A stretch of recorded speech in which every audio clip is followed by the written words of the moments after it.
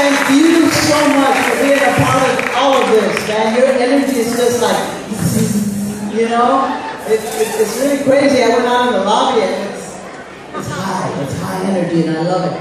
And our next contestant, contestant number 10.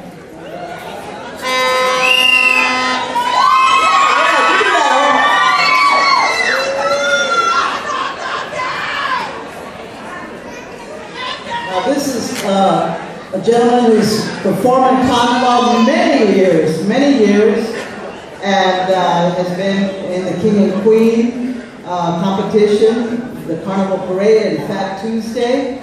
And I am talking about Frederico